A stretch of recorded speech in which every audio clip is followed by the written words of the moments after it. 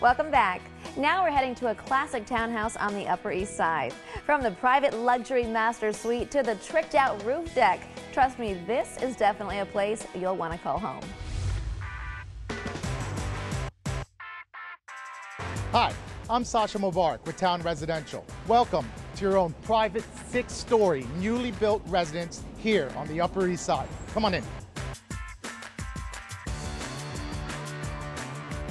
Here is a new interpretation on classic townhouse living. This is a 5,000 square foot, five bedroom, seven bathroom private home, essentially a six-story vertical loft. Yet it's still reminiscent of your classic Upper East Side townhouse and its fireplaces, tray ceilings, and built-ins.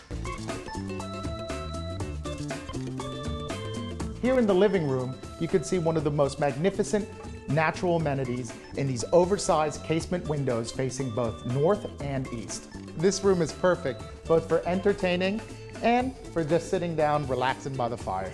And speaking of entertaining, you gotta check out this kitchen.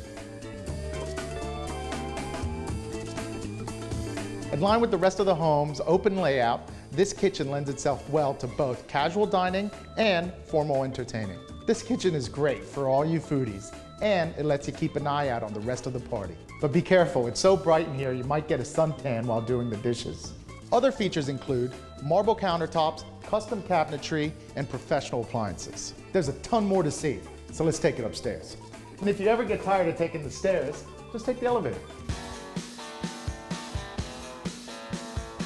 And on its own private floor, here is the master bedroom. Glorious windows, six inch oak wood floors, tray ceilings, walnut pocket doors for dual walk-in closets. Now this is where you get pampered. Wet room, deep soaking tub, floor to ceiling Bleu de Savoie marble, northern and eastern facing windows, heated floors, sound system throughout. Why would you ever want to leave?